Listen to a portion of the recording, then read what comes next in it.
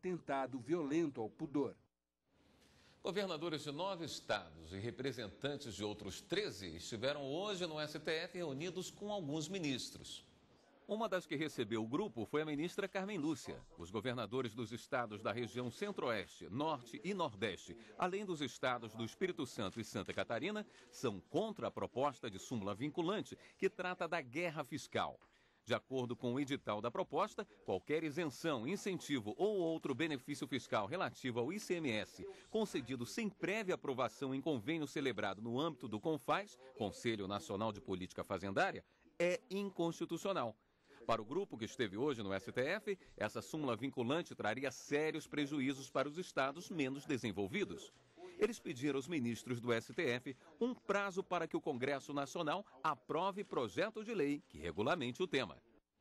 Passar em um concurso público e